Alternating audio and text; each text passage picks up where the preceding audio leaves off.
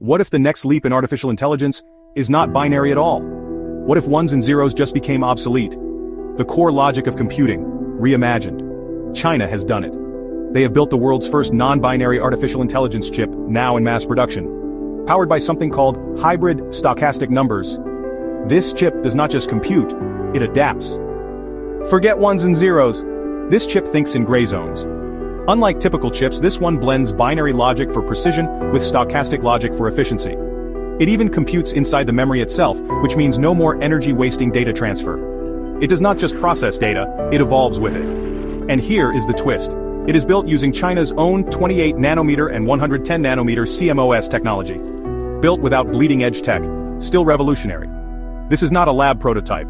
It is already powering drones, industrial robots, smart displays, and even aviation systems all where power and precision collide.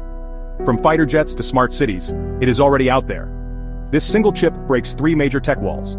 Energy use, hardware compatibility, and fault tolerance. It even works in environments that crash normal chips. Solves the three biggest walls in modern chipmaking. And it could change who leads the artificial intelligence future. The age of binary computing might be over. It is not just a chip, it is a turning point.